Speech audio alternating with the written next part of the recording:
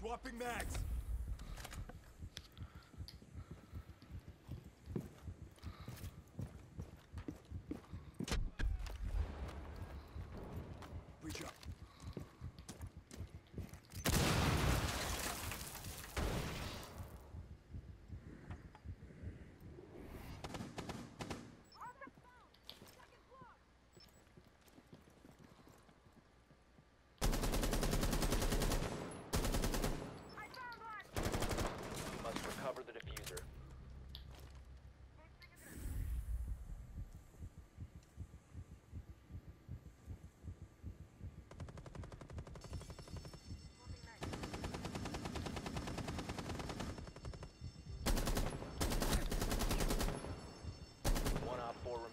Four.